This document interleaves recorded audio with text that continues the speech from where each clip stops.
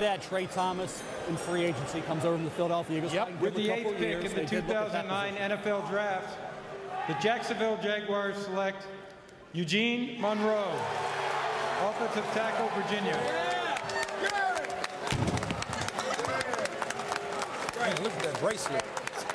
As we said, he was here last year watching his college teammate Chris Long get drafted very high last year by the St. Louis Rams. Comes from a family with 16 children, including 10 brothers. Plainfield, New Jersey. So, you know, they're, they're right around all the brothers, sisters, his family, and a proud moment. You're right, Steve. Boy, those tackles have cleaned up. They look good, don't they?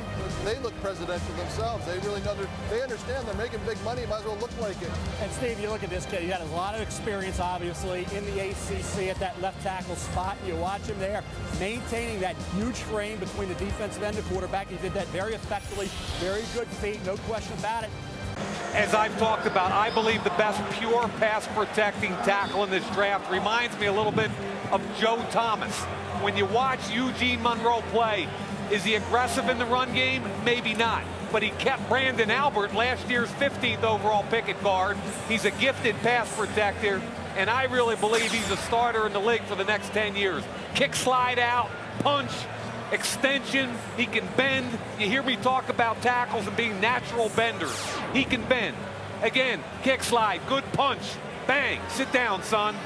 Not a problem. He is a good I, to, to great pass protector. He's got to keep his hands up, but what I like right here is the vision.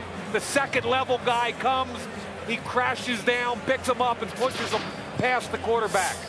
Look at this move. He's beat. Right now, he's beat drop step to recover is rare. Rare for an offensive tackle to have that kind of feet skills.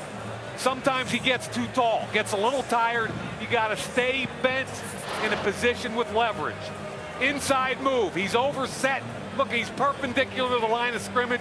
He's asking to be beat inside. So when he plays with consistency.